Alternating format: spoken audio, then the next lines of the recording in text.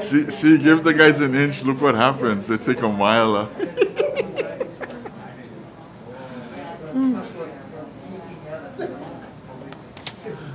they don't catch the hint. Sorry. Hey guys, hey! I think I sneak up here. I was kind of getting quiet, and oh, the thing started to come up again. So, oh, sorry, I gotta cut in. But anyway, good morning again. God bless you guys. What a joy it is to worship the Lord. Uh, praise the Lord. What a great worship set that was. And uh, we're going to just get right into the Word of God this morning. Uh, just a few opportunities and announcements we want to let you guys know about. Women's prayer, guys. The ladies have scheduled an upcoming time of prayer set for Saturday morning, February the 13th from 7.30 to 8.45. You know, there's parking available here right in the lot on Saturday morning, and the elevators are open, so you can come right on up. Uh, all are encouraged to join in. All, all, the ladies are encouraged to join in, and you can see Levon or Haley for more information after the service. Should be a joyous time. We want to just take the opportunity to invite the guys out too, because hey, the guys we we've been meeting here at 7:30 uh, it's on, been ongoing, and it's just a wonderful, wonderful time of fellowship. We enjoy the coffee's always, always on, and uh, uh, I think it's a highlight of the week. Uh, you know, I used to say that, and I still believe that. You can ask, uh, maybe talk to Frank or uh, one of the guys, and you know, it's again just a great time to get together to worship the Lord. Frank or Keone, they can give you more information the River of Life mission, guys, we've been praying for the river and we've been part of the river. And I was thinking about it during the time of worship that uh, Cal- uh, Calvary Chapel went in on the early days of the mission when Jack and Audrey Stankus were there at the mission. And, you know, they pioneered the work and, you know, turned it over to Pastor Bob. And uh, uh now, you know, some ongoing changes are here. But, you know, again, the, the ministry just has grown exponentially we started off with just a one or two rooms actually, and uh, one of the guys from our uh, Salt Lake Bible study he bought some of these folding tables, uh, the kind that you get at the uh, school cafeteria. He bought a few of those tables and. He said, "You got to come down and check out the, the work," and that was it. We've been part of it, and you know, a lot of the other Calvary chapels like Central Oahu and West Oahu have always uh, been participants, as well as Honolulu and ourselves, and it's a, just a good time.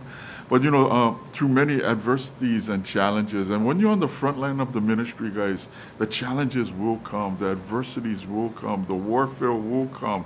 So you know, you, we can anticipate that because you know the the, work of the, the ministry of the Spirit at the mission through the mission is uh, uh, seeking to save lives and seeking to save lives, and uh, again uh, uh, you know, that continued vision for the ongoing work of what the Lord would have for the ministry, and you know, keep in prayer the staff, and uh, uh, but above all, all the visitors, the guests, and service recipients, because you know, through the years, many have come through, many have been touched, many have been saved, many have gone on to just. Uh, uh, get back into mainstream life. So again, uh, the work of the mission is ongoing keep those things in prayer. And again, uh, just a tremendous, tremendous work.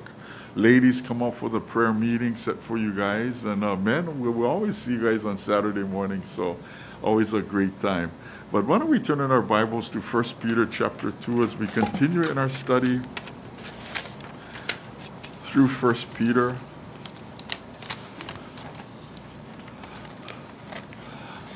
I was kind of rocking and rolling with that last song, but our God is awesome. But I was thinking, you know, I've never been really that light on my feet. I've always kind of planted my feet and uh, I rock back and forth. And uh, I thought about this one guy. He was a longshoreman. I used to surf with him every afternoon out at Waikiki. And uh, he was a big guy, but very gracious. And he could just walk the, the mini tank uh, and, and hang on that nose and stuff like that. You know, he was really good, but light, light, uh, light-footed, fleet-footed. And, you know, his son went on to be world uh, longboard surfing champion, so it kind of ran in the family. But uh, you know, just a great time. I want to break out in a little dance with that great worship. But praise the Lord. First Peter chapter two. Why don't we pray? Father God, we do want to thank you again for your goodness and your loving kindness and your faithfulness and We thank you for your tender mercies new for us this morning as we uh, just continue to study through our your word, Lord. And we thank you, Lord. We praise you for the opportunity you give us to gather, Lord. We pray for those here in the chapel, Lord, and we pray for those that might be watching by the internet. And we thank you for those that uh, uh, uh just continue to uh, graciously uh, and generously support the ministry through the, the love and the provision of Jesus Christ, Father. We pray you continue to bless uh, the gifts that come in, Lord, and the tithes and the offerings, uh, all to your glory. We thank you, Father. We praise you. In Jesus' name we pray, Lord. Amen and amen. First Peter chapter 2, I'm trying to get there. I'm all over the place. I was in the book of Acts and uh, uh, in Psalm Psalm 37. But um, 1 Peter 2. We left off last week in Psalm 1, 118 where we tied uh, uh, into 1 Peter 2 where we're told in verse 4, uh, in verse 4 of uh, chapter 2, 2 Peter, uh, we're told that uh, um, to, we're told to come to him, Jesus, who was a living stone, choice and precious in the sight of God. And you know, we we we resisted. I think for many of us, we know that we resisted. For many of us, it wasn't that easy. For many of us, we had to come to that place of realization. Uh, and we're at the end of ourselves, and that's where it be became a beginning, a new beginning in the love of Jesus Christ. We also, in verse five, saw that we are we ourselves are those living stones being built up into a spiritual house. And if you can think that they throughout the, the Hawaiian Islands. Right now, many churches, many fellowships join together. We're thinking throughout the world that we're all together being built up as a spiritual house in Christ Jesus for a spiritual priesthood on top of that. Imagine that, that you and I, priests, ministering as unto the Lord. And you know, we, we think that we can come and we say that we can come and we bring the sacrifice of praise into the house of the Lord. We come as those living sacrifices. We come rejoicing as unto Him. And uh, uh, imagine that again, ministering, you and I ministering before the Lord, offering those spiritual sacrifices to God through Jesus. We saw in verse 6 of chapter 2 that uh, the word choice. Uh, uh, I lay in Zion a choice stone, a precious cornerstone. Jesus' choice or picked out or, or as chosen, the word might mean. Here it's used of Christ, the chosen of God, the Messiah, a living stone, a chief cornerstone. If you've lost your way, guys, go back to the to the, the very beginning. Go back to that chief cornerstone. Go back to the benchmark of our life in building and construction and whatever it might be. We take measurements. We, uh, we take a, a, a, measurement from here to there. We know that we started here. Here's our benchmark, and we're going to go so long. We're going to build out to here. And uh, uh, Jesus himself, being that chief cornerstone, we, we get all our marks, all our bearings from him. And from there we go. And if you've wandered away and if you made a jiggy-jaggy cut, or something and gone astray. Hey, come back to the benchmark. Come back to that chief cornerstone.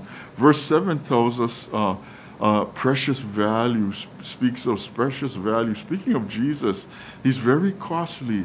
He's very dear for us who believe, but rejected by man, he became a stumbling block and a rock of offense you know, I don't know how many times that you have maybe approached a friend, a neighbor, a family member, and you, you want to share about Jesus, and, you know, they're just not hearing it. They're just not receiving it. And, you know, they look at you and they, they, they, they, they might in their heart, they nod their head and so on and so forth. But again, much of the times within the heart, they're rejecting Jesus. And, uh, and, and for others, uh, he becomes a real stumbling block and a rock of offense. Hey, I don't want to hear it, man. I know about that. Yeah, I went to catechism. I did this. I did that. I went. I was an altar boy. Whatever it might be. You know, I, I used to stand down, sit down, fight, fight, fight, you know, and, and as the priest would tell us, but whatever it might be, a rock of offense, a stumbling block for many, the name of Jesus. And Paul would write to the Corinthians that the message of Christ crucified was a stumbling block to the Jews. The Jews just couldn't handle that. Jesus Christ come crucified. And foolishness to the Gentiles Remember, for the Jew, he who was hung on a tree was cursed. You know, Deuteronomy 21, the law of God, there are five books of the Torah, the five books of the law, said specifically that who was hung on a tree. And they said that, hey, Jesus came crucified, hung on a tree. Hey, he was cursed, man. He wasn't the Messiah, he wasn't our Savior. In that, we reject him. For the Greek mindset, you know, we're all, all in this Greek mindset. We like to know things, we like to find things we like to research things, and we all think that uh, things should be so on and so forth. One and one is two, two and two is four, four and four is eight. Everything has a has a formula, and we must be able to figure it out. But for for the Greek mindset, in all their wisdom, the crucifixion and resurrection of Jesus was ludicrous. In their mind, they just couldn't wrap around that fact that Jesus was crucified, he rose from the dead, and uh, again, they couldn't understand. And uh, what they couldn't understand, they, they failed to believe. They say, hey, we're not believing this. We're not believing this. Uh, so, th- you know, the, that's just where they're at. But, this, uh, but his precious value is for us who believe, verse 7 tells. You know, for we who believe, maybe we're not so smart like most of these Greek guys, or we're not of the Jewish mindset that says that hey, he, who, he who hung on a tree is cursed. But we just came in that little bit of faith given by God.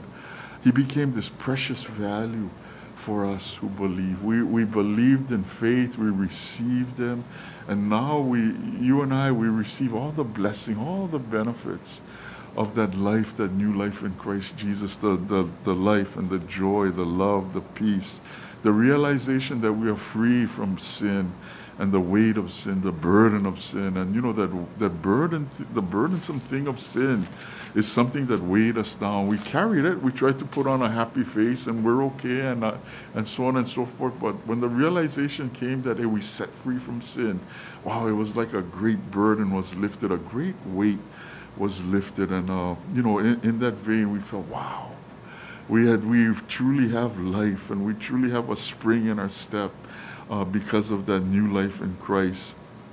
In verses 9 and 10, he says, But you are a chosen race, a royal priesthood, a holy nation, a people for God's own position, possession, that you might proclaim the excellencies of him who has called you out of darkness into his marvelous light.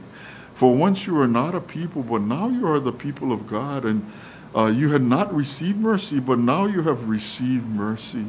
We are a chosen race, and you can kind of think that, wow, we are uh, chosen of God, and how is that, you ask, and how, how come me, and why am I so fortunate to know and receive life and liberty and love and forgiveness and hope? You know, some of you may have come to that place where you say, how come I'm so blessed, Lord? What about my friends? What about my brother? What about my sister? How come uh, I'm chosen? And, you know, some might even feel guilty at that fact that, hey, I got all the blessings of God.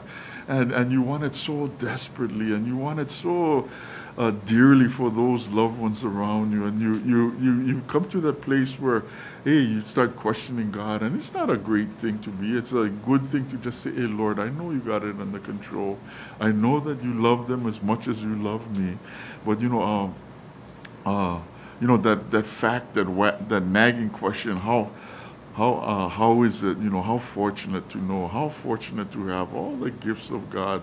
What about the other guys, you know, and uh, uh, God is saying, hey, just go on with me, just move out in me. And, you know, uh, uh, I, I love those guys more than you could think or imagine.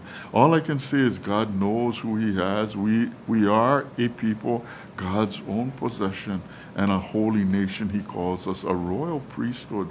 He calls, calls us out of darkness. And uh, you might ask, you know, just stop on that. You know, how you say that, hey, how is it that I'm a royal priest? Or how do we belong to this royal priesthood? And how is that that, that, uh, uh, we are adorned with all the adornments that the priest was adorned with, all the things of the breast, the ephod, with all the precious stones on that ephod, and all the things of the sashes and the turbans, uh, adorned with all the glories of God. And I think that here in the, uh, since the time of Jesus Christ, He adorns us. You know, we put on a gospel uh, of, of praise, a mantle of praise. Uh, we have this spirit not of heaviness, but a spirit of worship. And, and uh, we put Christ on. And Paul would, would, write to the Colossians as well as the Ephesians. He says, put Christ on. And that putting on is like you're putting on a garment. You're putting on that royal robes, the robes of royalty that, that signify our sonship and our daughtership and our really our, uh, the priesthood of, of the Lord uh, upon us. In the Old Testament times, when the priests were ordained, you hear of that word, oh, when were you ordained? Oh, how's the ordination service? And so on and so forth. That word ordain is simply means to fill the hand. You know, your hands were once empty. We came to the Lord. Lord, I have nothing. Lord, I surrender. Lord, I lift up my praise to you. Lord, uh, Lord, now as you ordain me, fill my hands. And that filling of the hands says that, hey, my hand is placed to the plow. My hand is uh, filled with the things of the workings of God. My hand is filled that I might minister as unto him uh, as that priest uh, in worship, in praise, in honor and glory, bringing honor and glory. And we still come saying that, Lord, I lift my hands on high. Lord, I worship you alone. Lord, I'm still empty and I still need your filling. I still need the filling of your spirit.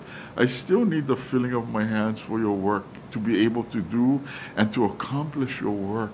Uh, he called us out of darkness and uh, uh, we once lived the light in the dark. And I, I told you about that one fellow who, who came to the, um, uh, the theater down here. Uh, uh, we had one of our Easter Good Friday services at the theater right down here on Bethel Street.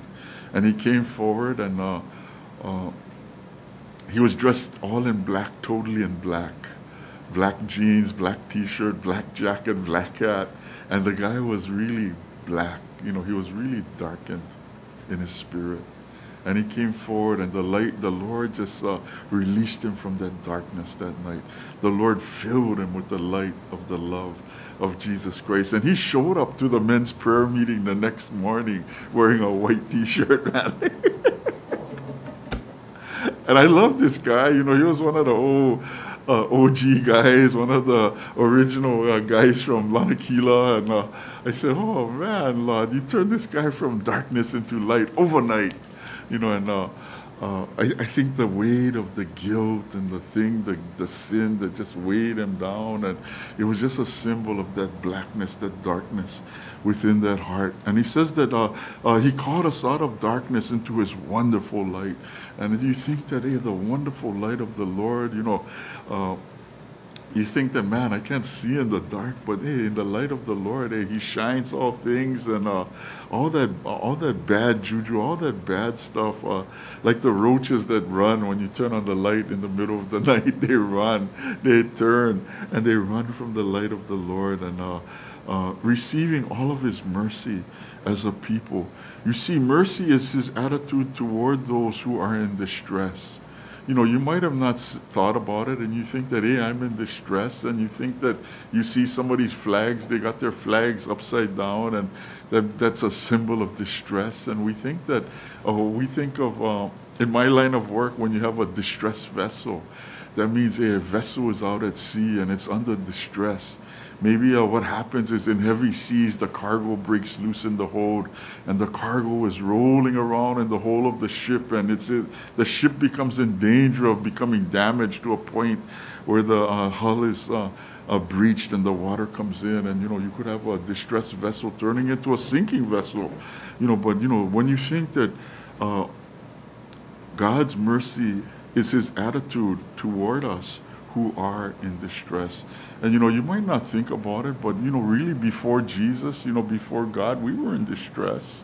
And even at times now, we feel distressed out, and we take out, take away the this, and you got the stress. And sometimes we we feel the stress, the stress of work and whatever it is, work, the stress of kids, whatever it is, the stress of uh, uh, you know, other other matters. You think of the COVID, you think of the guys going through difficult times, and you get stressed out. But God's mercy is His attitude toward those who are in distress. Grace descri- describes God's attitude to the lawbreaker and to the rebel. In other words, God's grace says, "Hey, I love you just as you are. I, I know that you're a dirty, rotten sinner, but I love you and I, I love you with my grace. And this is God's uh, grace describes God's attitude toward the lawbreaker and the rebel. Mercy is the act of God. God uh, reveals and pours out his mercy upon us, and peace is the resulting experience in the heart of man. You know, without that grace, without receiving the mercy, without uh, uh, uh, without these things, peace is not a reality, but we experience peace in the heart of man when we receive the grace and the mercy of God. And these are the things and the attitudes of God. And that's why you see throughout the New Testament, the greetings in the New Testament is continually grace and peace. Receive the grace of God, receive the mercy of God, and know the peace of God. The, the word is uh, related very closely to the Old Testament word we see loving kindness. Loving kindness speaks of the Hesed, the mercy of God, and the mercy and the grace and the peace of God are all kind of intertwined within this beautiful word, loving kindness. Peter writes in, uh, in verse 10 uh, You are the people of God. Now you have received mercy. And not, we can call ourselves, hey, we are the people of God. We are the children, children of God. We are this royal priesthood. We are this holy nation set apart for God's own glory and God's own works. Peter uh, wrote to prepare the hearts of believers of hard times to come. No different today. Uh, uh, as we will experience uh, hard times, guys. We recall in uh, Lamentations 3 22 and 23 the Lord's lo- uh, loving kindness never ceases, His mercies never fail. They are new every morning. And you know, often we quote it and often we forget, it was that verse. But it's in Lamentations 3, and uh, we, we can think that His mercies never fail. They are new every morning. And a lot of times, you know, so much of the time we need His mercy. So much of the time, uh, uh, we need to know his loving attitude towards those who are in distress because you know some situation something's turned upside down in our life something beyond our control. And just face it we love we love to have control. We love to have our hand on it. We love to be you know driving that car and you know turning it to the right or to the left. And it's hard to say hey god you take over the wheel. You you, you take over control and uh, in that, uh, we wrestle with God and we wrestle with the wheel. And at times it becomes quite stressful. But in verse 11, Peter, Peter goes on. He says, Beloved, I urge you as aliens and strangers to abstain from fleshy lusts which wage war against the soul. And Peter uh, continues to refer to Christians as aliens and as strangers. He's saying we don't belong here. He's reminding the, the believers there in Asia He's reminding them, he says, We don't belong here. We're just passing through. Don't get too comfortable. Don't seek for, you know, easy life and, hey, uh, I'm not bothering nobody, no bother me. And, uh, uh, you know, uh, I, I think that bother, bothersome things and bothersome times would be coming as the long arm of the Roman Empire was reaching towards that part of the world. But don't get comfortable. He says, Remember Lot in Genesis 13. He saw the valley of the Jordan Lot, he saw the valley of the Jordan, and it was, uh, the, the Word of God says that it was well watered everywhere. It was well watered everywhere. And, and now, in a hot and dry and arid land, water meant wealth and prosperity. Uh, water brought an abundance of produce, it brought great uh, crops of fruit and grain. And that means hey, you would have plenty of bread and you would have grapes for wine. all the things that you needed are for sustenance, all the bread, all the wine. Water meant good. Uh, grazing for your livestock. It meant that you had steaks and you had lambs to roast and you had milk and butter and cheese and eggs and uh, yet within the land of Sodom and, and Gomorrah that looked so well lay every form of licentious behavior. Beloved, Peter says, I urge you to abstain from this kind of lifestyle. You see, Lot was just looking at the physical things. He said, This is a choice place. I'd like to settle here. And like for many of us today, we'd love to settle in some choice place. Hey, nobody bothers me. It's well watered. I got a lot of food. I got a lot of money. I got a lot of comfort. I got a lot of this and that. But it's all in the world. And, all, and as you uh, trade um, uh, licentious behavior, lewd and lasciviousness, and all the things of the immoralities of the world, uh, beloved, I urge you to abstain. You know, we, we I, I think the statistics are uh, that we in the state of Hawaii have uh, been part of 400,000 abortions. I couldn't believe that. That's what I thought I heard.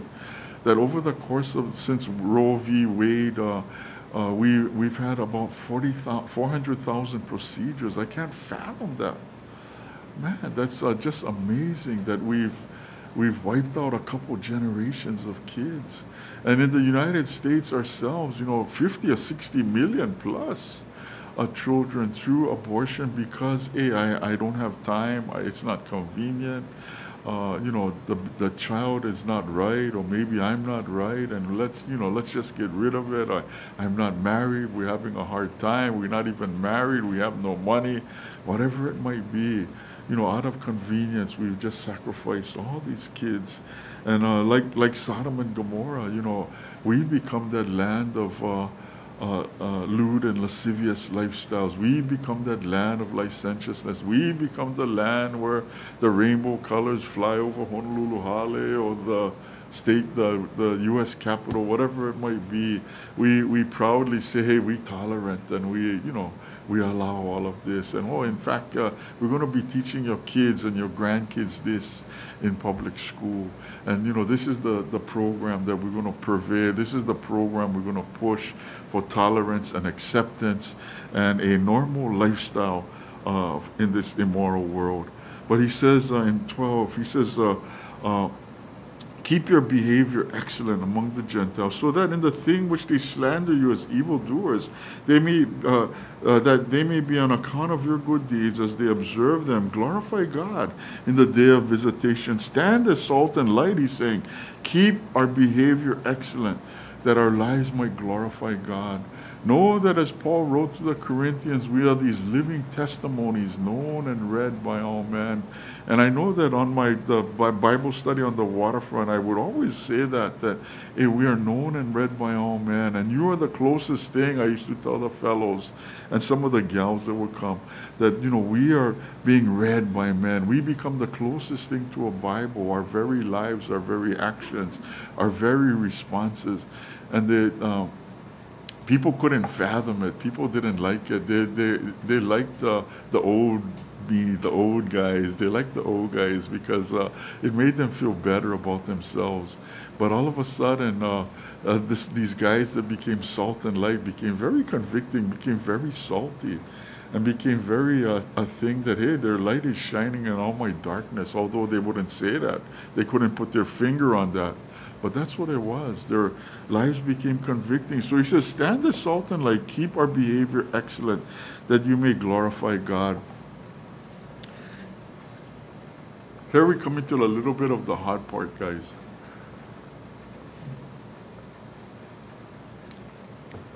Submit yourselves to the Lord's, uh, for the Lord's sake, to every human institution, whether to the king as the one in authority. Ooh,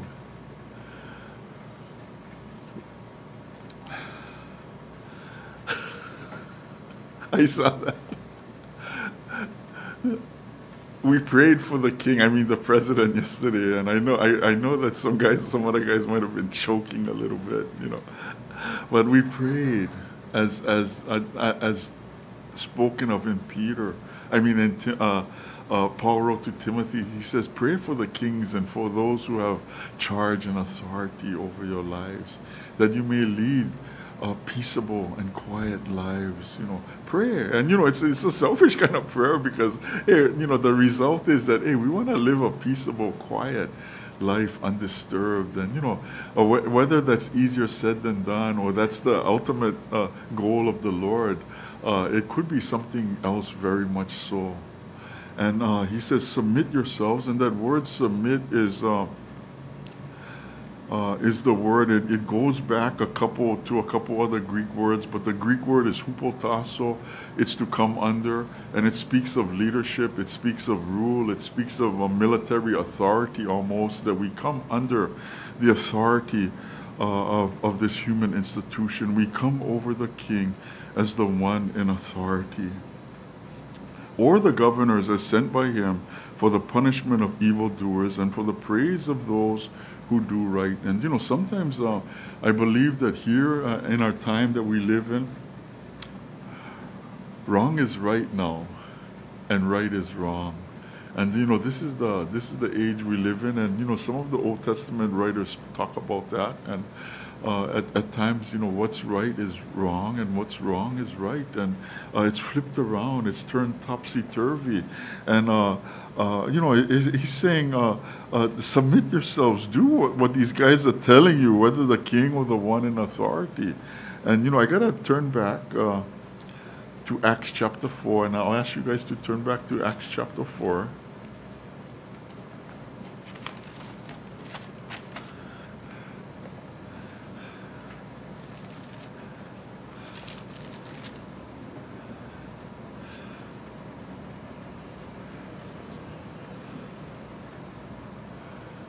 The real heat came up for the apostles and for the early church in Acts chapter 4, guys, as they were speaking to the people and the priests and the captain of the temple guard. And the Sadducees came upon them, being greatly disturbed, because they were teaching the people and proclaiming Jesus, the resurrection from the dead. They laid hands on them and put them in jail until the next day, before it was already evening. And many of those who heard the message believed, and the number of men came to be about 5,000. And it came about on the next day that the rulers and the elders and the scribes were gathered together in Jerusalem. And Annas the high priest was there, and Caiaphas, and John, and Alexander all who were of high priestly descent. And when they placed him in the center, they began to inquire, But what power or in what name have you done this? And Peter was filled with the Holy Spirit and said to them, Rulers and elders of the people, if we are on trial today for the benefit done to a sick man, as to how this man has been made well, let it be known to all of you and to all the people of Israel that by the name of Jesus Christ the Nazarene, whom you crucified, whom God raised from the dead, by this name this man stands here before you in good health. He is the stone which was rejected by you, the builders, which became the corner, the, the, the chief cornerstone. Hey, we've been stuck on this verse for a while, yeah? Psalm 118, 22. And uh, Peter uh, speaks of this, and uh, uh, here he, again, he's speaking of it here uh, in Jerusalem.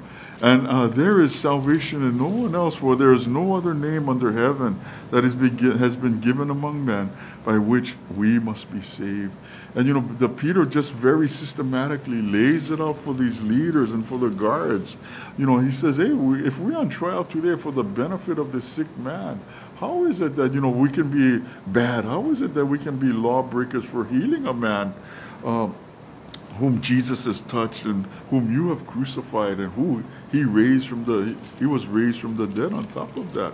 And uh, uh, the verse 13 i love this. Now they observed the confidence of peter and john and they understood that they were uneducated and untrained men that they were marveling and began to recognize them as having been with jesus.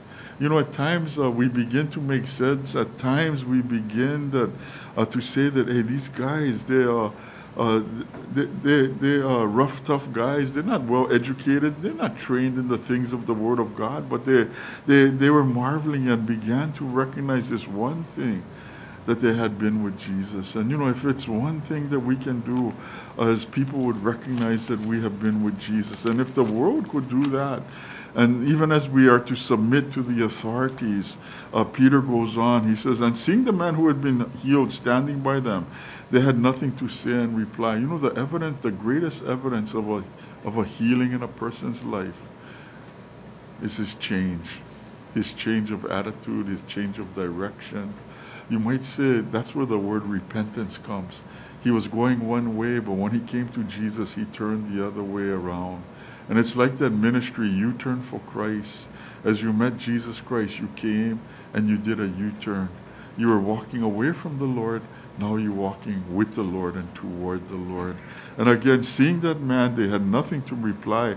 But they ordered them to go aside out of the council and began to confer with one another, saying, What shall we do with these men? In fact, uh, for the fact that a noteworthy mir- miracle has taken place, uh, through them is apparent to all who live in Jerusalem. We cannot deny this. But in order that it might not spread any further among the people, let us warn them not to speak more to any man in his name. And when they commanded them, they commanded them not to speak or teach at all in the name of Jesus. You know, uh, what Pastor Chuck used to say is when the government tells me that I cannot preach or teach about Jesus, he says, send a cake with the file because I'll be in prison. They're going to put me in jail because I'm not going to stop preaching the Word of God. And you know, uh, I don't know if that day is uh, one, one day uh, there is going to be a day that hey, it might be illegal to preach the Word of God. I don't know how close or how far we are away from that, but I have no reason to doubt that the enemy would love to snuff out the gospel message, the good news of Jesus Christ. But Peter and John answered and said to them, Whether it is right in the sight of God to give heed to you rather than to God, you be the judge. For we cannot stop speaking what we have seen and heard. In other words, uh, uh, the, the guy says, hey, whether you saying that we cannot do this or whether God is saying that we can do this, we're not going to um, uh, really, um, we cannot stop speaking what we have seen and heard. We cannot stop testifying of the goodness, the goodness of Jesus Christ, guys. And he says, you cannot stop us to do that. And when they threatened them further, they let them go, finding uh, no basis on uh, which they might punish them on account of the people, because they were all glorifying God for what had happened. For the man was more than 40 years old, whom this miracle of healing had been performed. Maybe some of you guys were about 40 years old when you came to the Lord, when you really gave your heart to the Lord, when you really shook off the chains that held, that held you back. And, and, and people are just amazed now because they said that this guy was the same old guy for the last 40 years. And look at him now. He got the touch of Jesus. There must be something about this Jesus. And uh, uh, this is really a miracle. This is really a sign that God is working, that God is moving, and maybe He is related in some way, shape, or form to this person by the name of Jesus Christ. And uh, they, they went on to that. And uh, look back with, at Peter with me, guys. Peter, uh,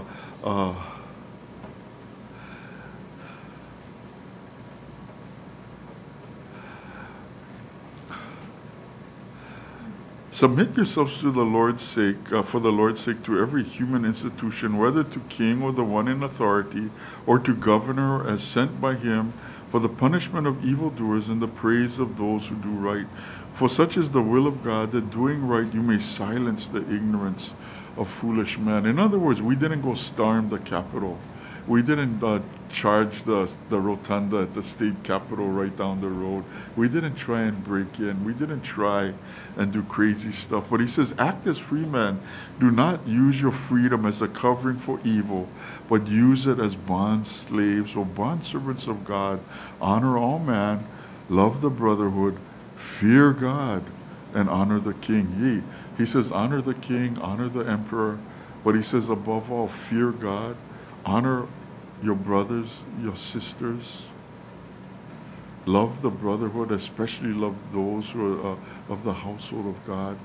And I know that within the church, guys, many have been disturbed um, by the results of the election, by the results of the overturning of the lawsuits and so on and so forth. And many within the heart, there are our hearts, we feel that hey, there was a really a lot of cheating going on, a lot of things that were done uh, outside of the light of the law and what's right and so on and so forth. And, you know, we've, we've defaulted back time and time again to Isaiah, uh, where uh, we look at that verse that says, Hey, I saw the Lord in the year of King Uzziah's death.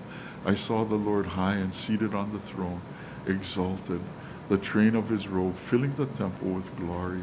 And what we can say is, guys, God, no matter what happens, no matter who won the election, God is still on the throne. God is still under control. God is still filled with His glory, and the glory of His Holy Spirit comes and overflows upon us, guys. Look at Psalm 37. We're going to finish up here in Psalm 37.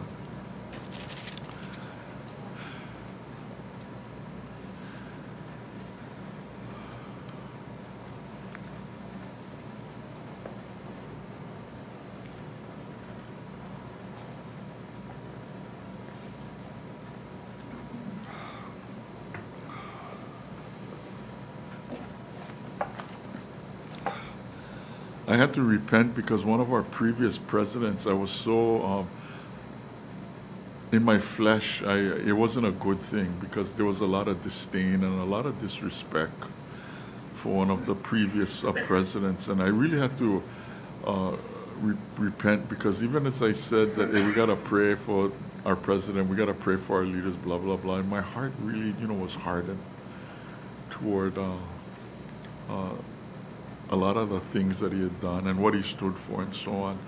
And you know, I, I think that uh, it all comes back down to this Psalm 37, the Psalm of David. He says, Do not fret because of evildoers. And you know, I have uh, in my Bible under do not fret, I have that underlined. Do not fret. For they uh, do not be envious toward wrongdoers, for they wither quickly like the grass and fade like the green herb. He says in verse 3 Trust in the Lord and do good. And here I got trust in the underline. And, and what comes along with that trust is our good doings, our good works, our good uh, uh, things that we do out in the world, and the good actions that we have as a consequence. Uh, of our love and the love of Jesus Christ. He goes on in verse 3, he says, Dwell in the land and cultivate faithfulness.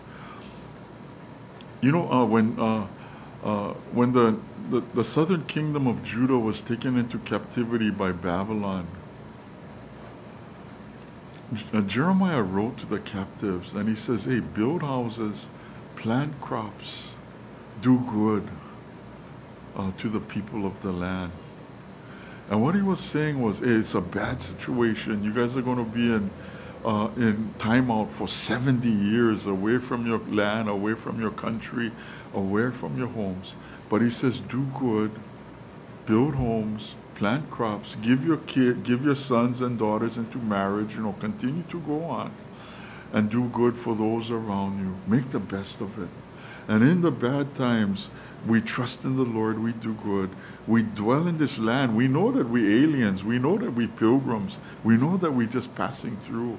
But he says, do good, dwell in the land, and cultivate uh, faithfulness and cultivate um, Cultivate uh, really means, I have a little footnote in my Bible, it says to feed securely or to feed on his faithfulness. To feed on his faithfulness.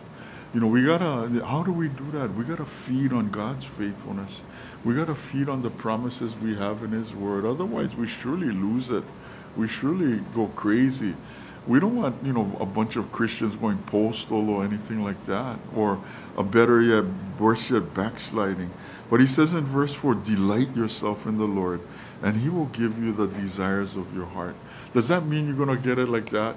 Does it mean you check your bank account and some, some guy deposited some large amount of money like Uncle Sam or whoever it was, and oh, we made a mistake. Instead of 600, we gave you 600,000. deposited into your account. But it says, delight yourself in the Lord. He will give you the desires of your heart. What, are, what, are, what does the heart desire? I think peace and rest and uh, trust and love and joy and goodness and gentleness. Those are the things that he, uh, we should be desiring. He says, Commit your ways to the Lord, verse 5. Trust in him, and he will do it. There are things that are outside of our realm of making happen. We cannot go back. We cannot add ballots. We cannot do this. We cannot do that. We cannot do the recount. It's all said and done. But we gotta just trust that God's result is is that exactly. It's God's results, and we cannot uh, we cannot uh, um, lose it over that. We gotta go on, and we gotta just do it and uh, and say, "Hey God, you large, and, and you're really in charge." And you know you've heard that, and I don't say that cavalierly or carte blanche but it really says, God, you can do it. He says, um, Rest in the Lord and wait patiently. I like this. You know that what that word says, uh, rest. To be or grow dumb.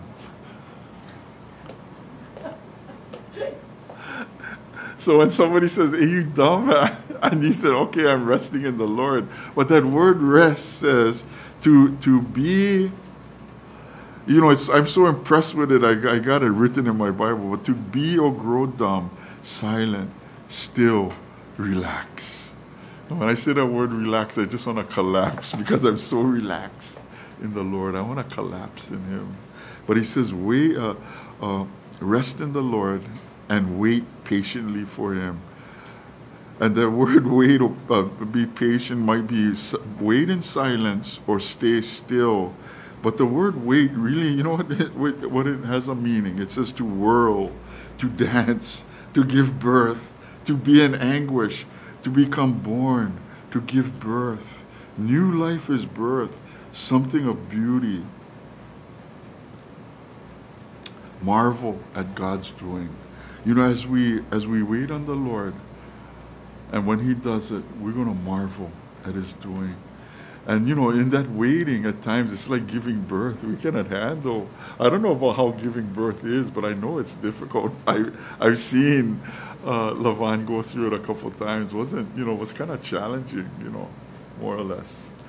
And uh, uh, but that new life is birth, something of beauty and uh, marvel at God's doing. When we wait on the Lord, when we trust in Him, guys, when we when we rest patiently and wait patiently for Him, He's gonna He's doing a work that we're gonna marvel at what God is gonna do. So you know, you that, that's where faith uh, comes into bearing, guys. We cannot see, we cannot experience, we cannot know what's going on, but we wait, we trust, and you know, and one day we'll marvel at what God does. He says in verse. Uh, Verse 7 Do not fret because of him who prospers in his way. And I, I got that underlined. I got rest underlined. I got wait underlined. Uh, I should underline verse 8 because it says cease from anger. cease from anger and forsake wrath. And again, he says, do not fret. It only leads to evil doing. See, when we fret, you know, we get in the flesh and you know, we can do bad things in the flesh, yeah. Yeah, not you guys. I know you guys are angels, uh, but do not fret. And he says, um, For yet in a little while the wicked man will be no more, but you will look carefully for his place. He will not be there, but the humble will inherit the land. You know what? When we get that uh, saying, the meek shall inherit the earth, that's where it is the right here in verse 11 the humble will inherit the land. I don't know if that it says that in the old king james or the new king james but the nasb says the humble will inherit the land and will delight themselves in abundant prosperity.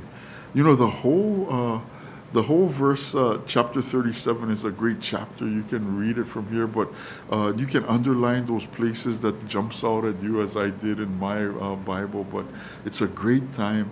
The meek will inherit the land, and they will delight themselves in abundant prosperity. That's the uh, the way it's all going to end, guys. You know, we we just kind of passing through, and like aliens, like pilgrims, we might be going through those hard, difficult times. But one day when we reach the end of our journey, uh, you know, as Jeremiah said to the children of Judah, he says, hey, make the best of it. Build your houses, you know, plant your crops, you know, give your kids in marriage, you know, be good to the people of the land. Make the best of it. And, you know, uh, one day you, you'll be uh, delivered. You know, Daniel recognized that. He recognized in his heart that he says, hey, the end of 70 years are, is at hand. And he remembered the words of Jeremiah. And thus he began to pray, Hey, Lord, hey, the words of Jeremiah, 70 years are almost up. What are you going to do? And, you know, that's when uh, uh, this king by the name of King Cyrus came on hand. And you can read about him in Isaiah 43 and 44. And uh, just a wonderful, he says that you will be my, my shepherd. You will lead my people. Here, this pagan king would lead his people back to Jerusalem, back to the southern kingdom of Judah God's word coming true. And God's word is still being made true. And God's word is still coming through, guys.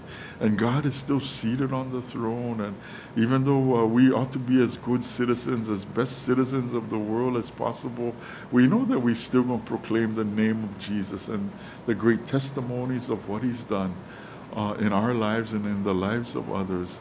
Uh, as we continue to be purveyors of the gospel message of Jesus Christ. Amen, guys. Father God, we do want to thank you for this uh, this time, Lord, and it's so appropriate, Lord, that as the administration changes, Lord, and new people come in, and uh, the new brooms uh, come to sweep uh, come to sweep away good things, Lord, and bring in other things, Lord. Uh, we just pray, Father, uh, in faith and knowing that you are in control, Lord. We praying, Lord, in obedience, Lord. We pray for the emperor. We pray for the president and the governors and those over us, Lord. And we pray, Lord, selfishly, Lord, because we want to lead quiet and peaceable lives, Lord, as uh, uh, you, uh, you wrote to young Timothy, Lord. And uh, we thank you, Father. We praise you for the grace and the mercy that you've shown us, Lord. And we thank you for the peace that is ours uh, as those who have come to the saving knowledge of Jesus Christ. Father, we thank you, Lord. We praise you for your faithfulness. We thank you for your love. In Jesus' name we pray. Amen and amen.